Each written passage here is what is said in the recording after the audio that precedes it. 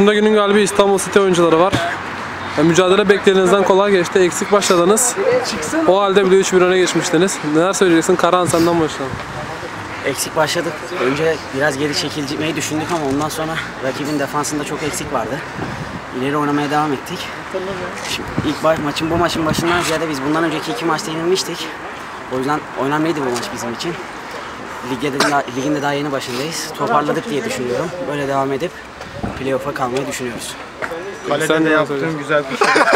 takımı galibiyete taşıdın. Senden alalım. Güzel gol attık abi. Fark maça farka gittik. 8-2 mi? Öyle bir şey bitti. İlk maç ilk galibiyetimiz bu yıl. İnşallah geçen seneki gibi olur. İlk 20'ye gireriz herhalde. Playoff'a da kalmaya çalışırız. Peki tebrikler beyler başarılar.